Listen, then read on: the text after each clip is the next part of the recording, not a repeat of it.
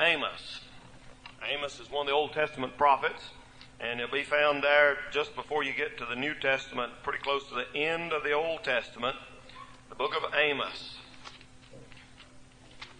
Before Obadiah, which is right before Jonah. You're getting right on in, near the end there of the Old Testament. And we'll look here in some scripture to what God said through the prophet Amos and then bring you a message from the Word of God. Regardless of what people think, God does everything He does for our good. And God is not mean. God is not bully. God does everything for our good. And what happens to you, it's God wanting to work in your life, bring you to Him. In Amos chapter 4, I want to begin reading with verse number 6. And you'll see some things here in the Word of God that uh, we'll use for the text for the message this morning. Amos chapter 4 and verse number 6. And I also have given you cleanness of teeth. That means you didn't have nothing to eat. In all your cities, and want of bread in all your places. Yet have ye not returned unto me, saith the Lord. Now stop right there. The Lord said here, I took your food away from you, and you still wouldn't come to me and get right. Verse 7. And I also, also I have withholden the rain from you, when there were yet three months to the harvest. And I caused it to rain upon one city, and it not to rain upon another city. One piece was rained upon, and the piece whereupon it rained not withered. So two or three cities wandered unto one city to drink water, but they were satisfied. Yet have ye not returned unto me, saith the Lord. Here again in this verse, the Lord said, I, I hadn't let it rain on you. Your crops won't grow. I thought if I stopped the rain and your crops wouldn't grow, then you'd get down on your knees and, and you would pray and you'd get right with me. But you still won't. Look what he said in verse 9. I've smitten you with blasting and mildew. When your gardens and your vineyards and your fig trees and your olive trees increased, the palmerworm devoured them. Yet have ye, have ye not returned unto me, saith the Lord. There again, the Lord said, I, I hit you in the pocketbook. I hit your economy. He said, you just had one thing of trouble right after another, and you still want to God and get right. And the Lord saying, I'm doing all this stuff trying to jar you and stick you and shake you and wake you and bring you to me, but you won't listen. Look at verse number 10. I have sent among pestilence after the manner of Egypt. Your young men have I slain with a sword, and have taken away your horses, and I have made this stink of your camps to come up into, under your nostrils. Yet have ye not returned unto me, saith the Lord. Now think about this. Only on, on a, an individual level, but on a national level. Do you realize that all the bad things that's happened, our kids getting killed on highways, drug overdoses, alcohol killed them by the thousands, murders on our street. God don't like it, but God allowed all this stuff to take place and God allowed diseases to come. He's trying to get people to repent and come to Him and get right, and people still won't repent. Verse number 11. I have overthrown some of you. God overthrew Sodom and Gomorrah, and you were as a firebrand plucked out of the burning. Yet have ye not returned unto me, saith the Lord. Therefore, thus will I do unto thee, O Israel, and because I will do this unto thee, prepare to meet thy God, O Israel. It's a dangerous thing when God's dealing with you to say no to God. And this morning I want to preach to you on the subject, what will it take to bring you to God? What will it take to bring you to God? I've seen the Lord deal with some of, maybe some of you people sitting right here in this room this morning for a long time. and it seems like you're running from God this morning, and the Lord will deal with you, and you'll keep running, and God will hit you, and you'll keep running, and the Lord will hit you, and you'll keep running, and the Lord will hit you with something, and you'll keep running. Bam! You find out something's wrong with you physically. Bam! You find out you lost your job. Bam! You find out you got trouble in the family. And all these things God is using to say, come to me, come to me. And the Bible said, yet ye have not come to me, saith the Lord. What's it gonna take? To bring you to God. I want to show you some men in the Bible this morning. Keep your Bible open there. I want to point out to you several men that it took God doing something to them to bring them to God. They start off mildly in Genesis chapter number five this morning, and I want to show you a man by the name of Enoch. Look at Enoch in Genesis chapter number five and verse number 21. You know what it took? It took the birth of a baby to bring Enoch to God. It took him becoming a father and bringing a little boy into the world. In Genesis 5 and verse 21, and Enoch 60 and 5 years and begot Methuselah. And Enoch walked with God after he begot Methuselah 300 years and begot sons and daughters. There's something about the birth of that little boy that Enoch walked with God for 300 years after he was born. You know, sometimes I used to think God gave us children for us to raise them. I found out God gives us children to make us grow up and do what we're supposed to do. I've seen many people just live haphazardly and a slipshod, halfway Christian life but when they bring that little baby home, they look at them two little eyes. Those are two little hands, those little feet that will one day spend eternity in heaven or hell. And they say, hey man, I've got a responsibility. This is my child. And that child will be used by God to bring them to himself. Thank the Lord if that happens. That baby boy was born and they got serious with serving God. If you're here this morning and you've got kids, you ought to be doubly serious about serving God. For you not only have yourself to answer for one day, but you'll answer to God for those little children that call you mama and call you daddy. I'm saying to you this morning, if you've got a little boy or a little girl that looks up and calls you daddy, looks up to you and calls you mama, you are not just facing God for you, you're facing God for them. And for the example you set in front of your kids, you are gonna, someday to stand right in front of God Almighty and give an account of God. It took a baby to bring Enoch to God. But let me show you another one. Acts chapter number 16. It took an earthquake to bring the Philippian jailer to God. He was a man here who kept the, the jail. And in Acts chapter 16, that's over in the New Testament, right after all the four Gospels, Acts chapter number 16. And in the book of Acts chapter 16, there was two fellows in jail by the name of Paul and Silas. And the Bible said in uh, Acts chapter number 16 that, uh, you know, they were in jail here and uh, uh, they began to uh, uh, pray and they begin to cry out and call on God and worship the Lord. And you'll notice in verse number 25, and at midnight, Paul and Silas prayed and sang praises unto God, and the prisoners heard them. And suddenly there was a great earthquake, so that the foundations of the prisons were shaken, and immediately all the doors were opened and everyone's bands were loosed. And the keeper of the prison, waking out of his sleep, seeing the prison doors open, he drew out his sword and would have killed himself, supposing that the prisoners had been fled.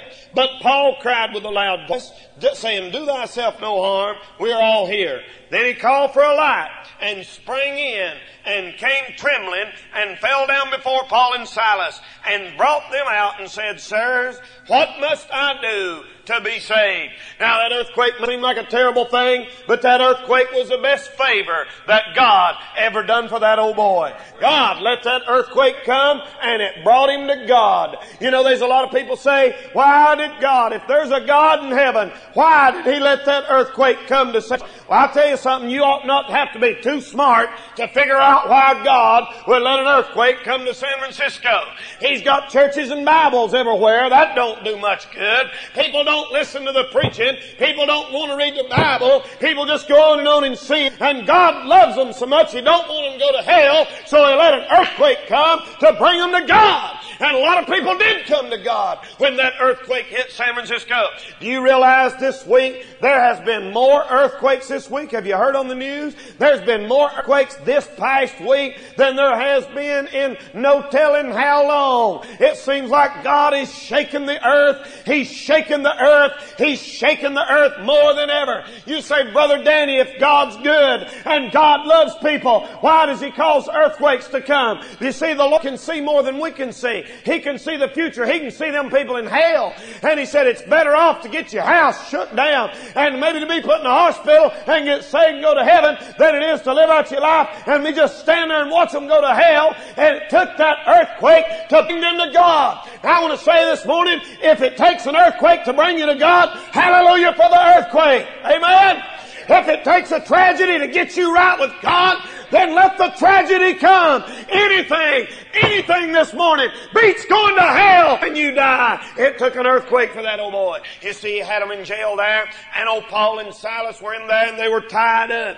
And the Bible said that old jailer was in here. He was propped up with his feet back here about half asleep, and all the doors were locked, and he's been there, you know, a snooze out.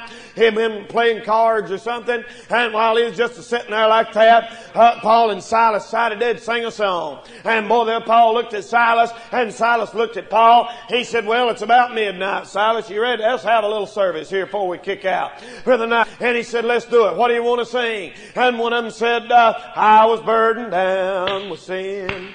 No happiness found within. And they got their parts to go in there and they start saying, I remember the day when the Lord saved me. And buddy, I want you to know God looked from heaven. He saw Paul and Silas, his servants, in there singing. He saw this boy over here lost without God. They had been witnessing to him. Listen, that old boy didn't give them preachers a time of day as long as them prison bars was sturdy and as long as them prison bars were steadfast and that floor was, was steel. But boy, when the Lord come on the scene and God moved in and God began to touch that thing and the Lord started going, like that right there. Buddy, I want you to know, you start listening to the preacher when the ground starts shaking under you.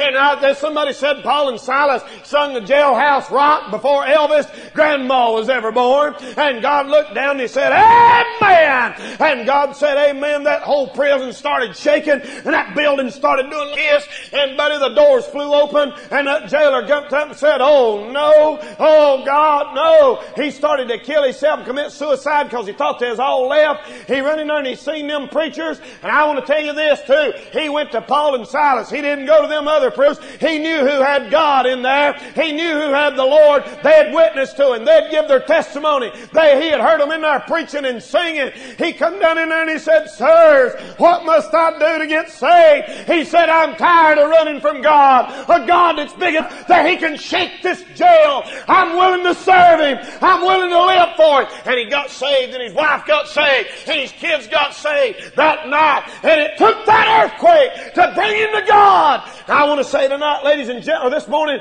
ladies and gentlemen, some of them people out in California didn't make it through that earthquake. It killed them. But God used that to bring other people to God.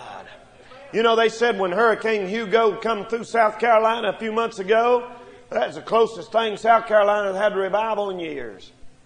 There's people down under the coffee tables praying. They were down under the bed where the lamp and the chandeliers falling on the coffee tables. They, they were seeing the pictures fall off of the wall. They were seeing mirrors break fastened on the wall. They'd look back, they'd see a big oak tree limp that big stick right through their living room and right in the back, out of the back of their sofa. They were down under that bed saying, Oh my God, I'm sorry for the way I've been living. There was people probably kicked out their boyfriends and girlfriends. They got their act together and gave up drinking liquor and right with God. You say, what do you say about that? I say, hallelujah. That's what it took to bring them to God. And listen, if God uses a tragedy to bring you to Him, He done you the best favor anybody's ever done you, friend. Don't you get mad and say, mean old God, let this happen. That's good. God loves you enough to allow things to happen. You won't listen when things are going good, so God has to let something bad to get your attention.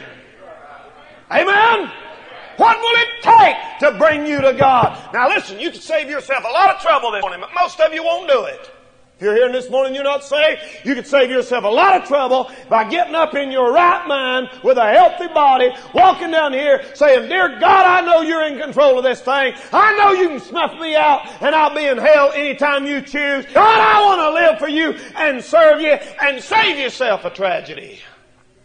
But if you don't, what's it going to take? Let me show you one in Daniel chapter 4 in the book of Daniel in the Old Testament, Nebuchadnezzar. It took a nervous breakdown to bring Nebuchadnezzar to God. You know what Nebuchadnezzar's problem was? He was full of himself. He was so proud and so cocky. I mean, he thought he was absolutely hot stuff. And I hear a lot these days about self-esteem. And I know there's a good place in Christianity for some counseling and some Christian psychology, and I'm not against all of that. But I tell you what, all you hear nowadays is people need to raise their self-esteem. They'll quit doing drugs. People need to raise, hey man, there ain't never been a time in history when people thought more of their self than they do now. People work. You, uh, they spend they spend more time get working on this old flesh, primping this old flesh, putting.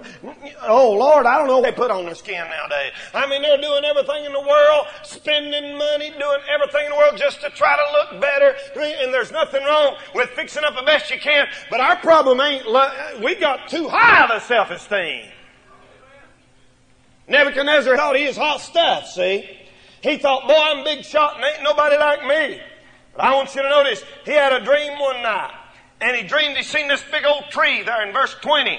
And he had fair leaves in it in verse 21. And it's grown in verse 22. But he saw a watcher come down in verse 23. And he said, let it be cut down. And in verse 24, he told him the interpretation.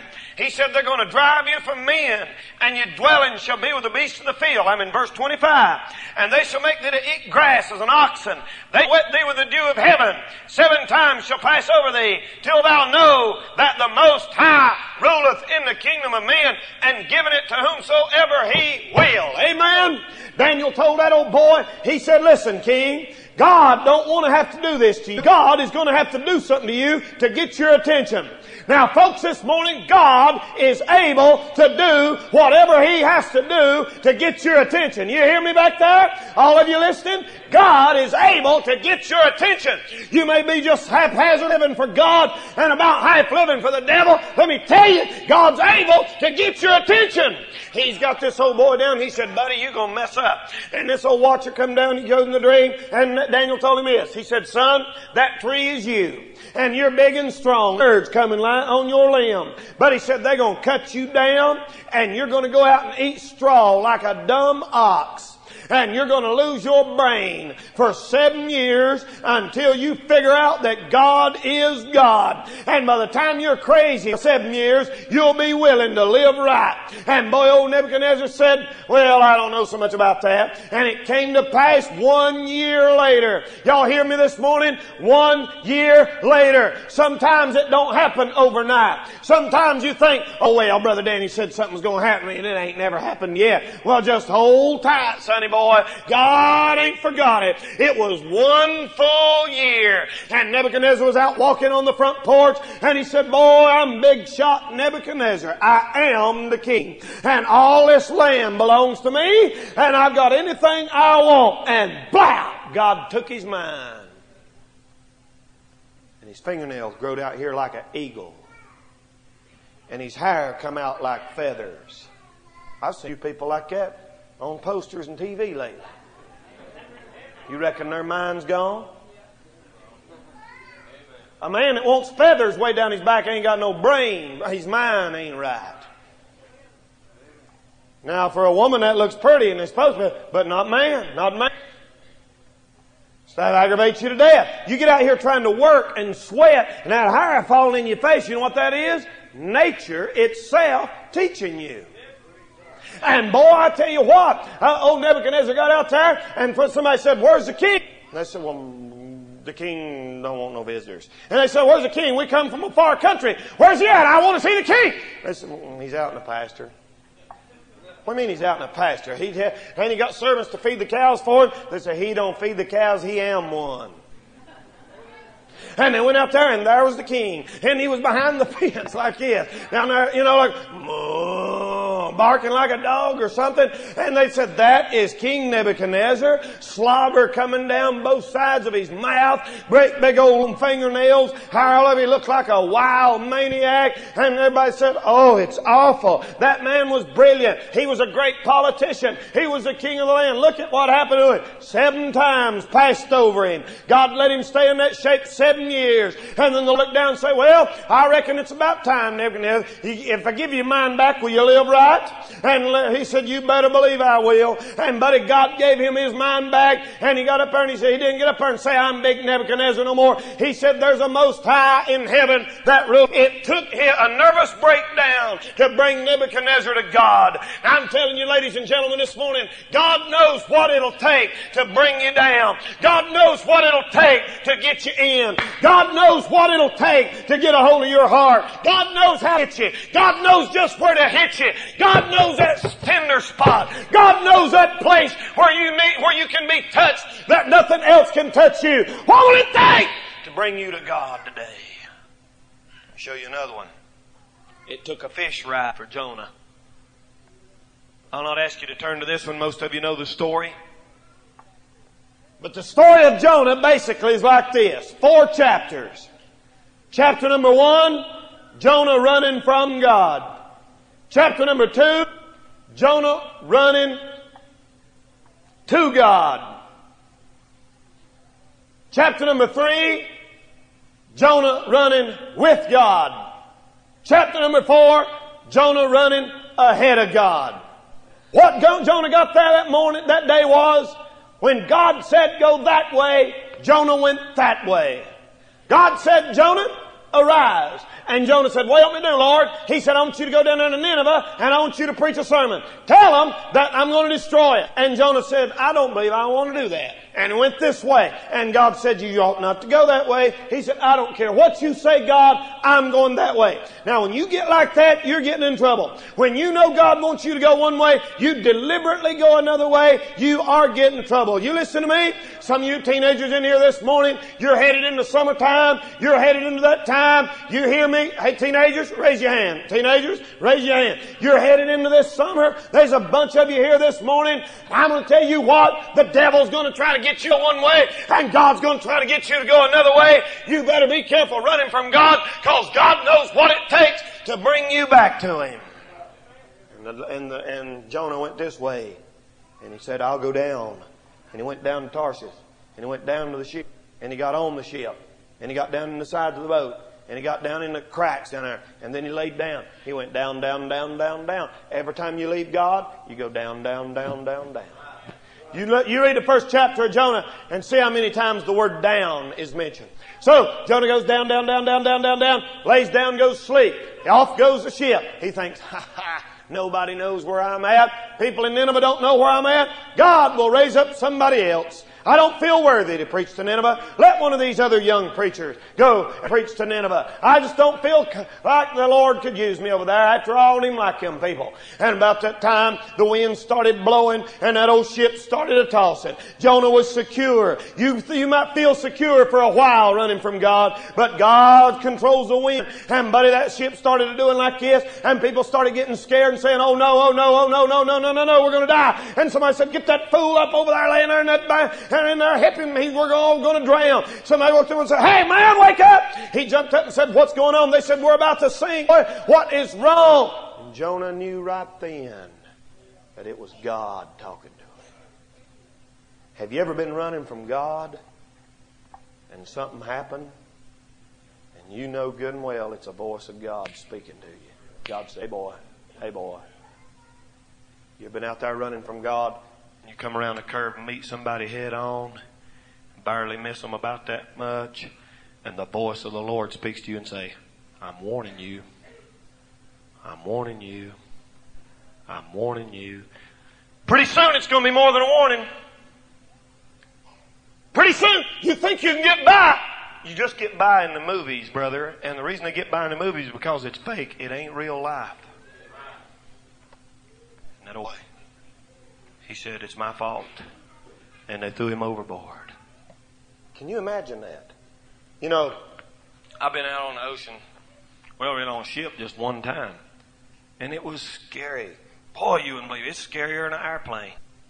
For some reason or other, it's scarier than an airplane. Because all that water. You think, buddy, if this thing goes down, I mean, I'm history. I can't swim that far. You look, you look around, you can't see nothing but water in every direction. And how terrible it would be for somebody to pick you up and throw you in that water. You go down like that, you know, and you come up like that, and there goes the boat off down through there somewhere. God had spoke to this whale, and this whale was hungry. He's like a submarine going around in there, and that whale said to his buddy, "I'm hungry. You know what I'd like to have? A mess of man."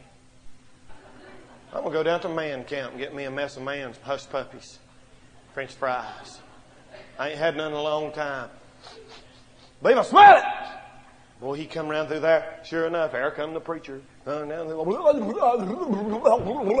And, and all of a sudden, while Jonah was gasping for breath and air, everything got pitch black, dark, and he felt himself like on a. It felt like a water bed he was on. So it was real slick and he went down like a water slide into that whale's belly. Little pool popped up right when he hit the bottom of that little pool and that blubber. Can you imagine the smell? Gastrical, intestinal juices in that whale's stomach.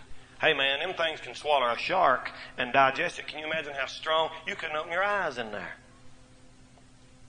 Seaweed wrapped around his neck. Somebody said, Boy, Jonah made a great preacher after he got his degree from Whale. God has got a way of getting your attention. You say, oh brother, there ain't no whale. Yeah, God's got a lot of whales out here can swallow you. You might not be a fish, uh, uh, get in a fish's belly literally, but God's got them financial whales. God let, you know what I've seen the Lord do? Something go wrong, cost you a bunch of money. You lay out of church, run from God, just try to make money, something will happen to get it. That's a whale, man. That's a whale. One will swallow you. And buddy, I'll tell you what, old Jonah, it took a whale ride for Jonah to get right. And I'm telling you, after he spent three days in that place, buddy, he's ready to go to Nineveh and preach. He sure changed his tune about preaching. He changed his mind about the Ninevites. Buddy, God's got ways of bringing you down. Three days before, he wouldn't fool with them. By the time that whale spewed him out on the beach, and he had whale vomit all over him, seaweed wrapped around his neck, his hair matted together. He hit the beach doing 90 mile an hour. It was a three day journey to Nineveh and Jonah made it in one day. Amen. About a day's journey. That's what Wesley Grant said. Said it was a three day journey and God put Jonah in the overdrive and he made it in one day. And buddy, he come in like his wheels like like a, like a wheels on a on a, a little old scooter or something. And he come into town saying, "Yet forty days shall Nineveh be overthrown." And they said, "Lord, I want you to look that suit. I never seen a preacher dressed like that. Seaweed tie looks like something Michael Jackson would wear." And they said, "No, sir, buddy." He said, "I got my uh, degree down there in the bottom of that fish, and I'm ready to preach. I don't care who likes it, who don't like it. God's got my attention. I've got right with God. I will ask you this morning, what will it take for God to get you?" Took rags, poverty, and bankruptcy for God to get the prodigal son. Is God going to have to let you lose everything you got, sir? You say, me no God wouldn't do that. If God let that happen to you and it got you right with God, that'd be the best favor God ever done you. You ain't gonna like this, some of you not gonna understand it, some of you. But if our nation was to go bankrupt, and I'm not saying I hope this happens, I'm, the Lord's will be done, that's God's business. If our nation goes bankrupt and our economy collapses, it just might be the best thing that could happen to us. If that's what it takes to get the dirty movies off the, off the airways, to get the liquor bottles off the shelves, to put out the, let the pornographers out of business, to stop the drug traffic, and people to get in the house of God and pray once again, like people used to call on God in the community. If that's what it takes, so be it, God. Let it happen. What will it take Prodigal son, he had everything a man could want when he left home. But he went down there and the Bible said he wasted his substance with riotous living and he wound up broke without a dime to his name. And right there in that pig pen, lost his money, lost his girlfriend, lost his bank account, lost his camel, lost his nice clothes, lost his nice apartment. He said, okay, God. And he come back home and said, Father, I've sinned. Best thing that ever happened to that boy was going broke because he got right with his father. There'll be one last one I'll give this morning. You listen carefully. You listen carefully now. This is tragic. It took a funeral to get David right with God. You hear me? You hear me, Daddy? It took a funeral for David to really get right with God. Some of you daddies in here this, this morning, you say, God would never take my precious boy or one of my girls or one of my boys. Yeah, he would. If that's what it takes to get you right with God, Daddy.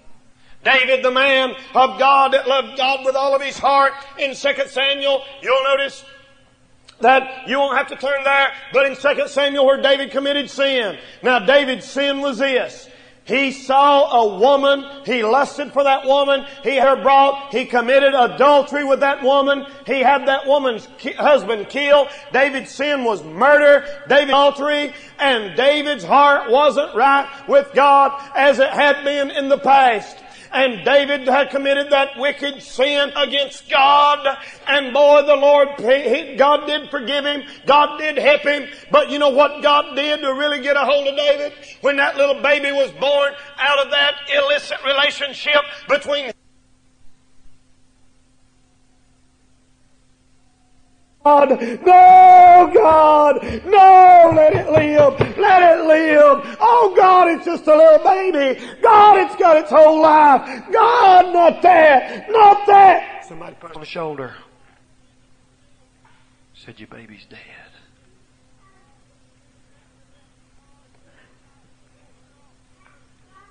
David looked at that little baby in that casket. He got right. He got right. I heard of a lady not too many years ago whom God had dealt with. You ladies listen to me. She, she had evidently had been saved. She had got out of the will of God. She is running from God and, and she wasn't living right. She quit going to church. All her and her husband thought about was pleasure, swimming pool, going to the picnics on the weekends, all these things. Left God out of their life used her kids for an excuse. One morning she's backing out of the driveway. And that little kid got under the back tire of that car. And she ran over it and took that kid's life just like that.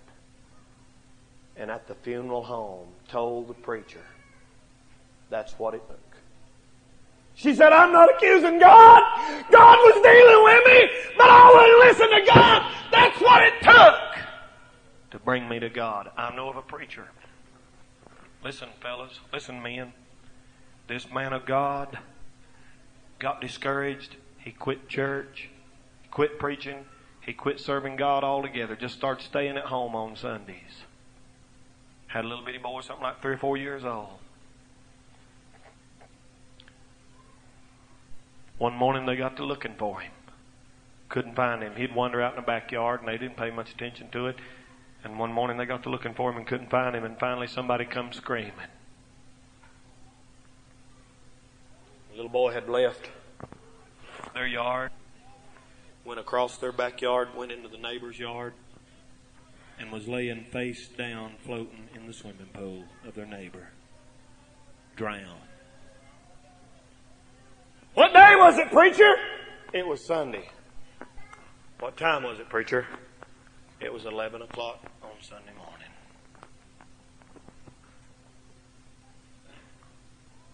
Instead of sitting in a church pew, singing in the choir, preaching a sermon, serving God with his little boy in church, he was pulling his boy's body out of a swimming pool. You say, what happened to him? I, I guess he got right with God. What's it going to take to bring you to God? Oh, you're not scared. Okay, okay. It's your life. It's free country. You can do what you want to. You're getting it the easy way this morning. If you won't listen, God will get you the hard way. But He will get you. Everybody in here, God will get you. And He's doing you the best favor He's ever done you. If it brings you to God. Let's stand and bow our heads.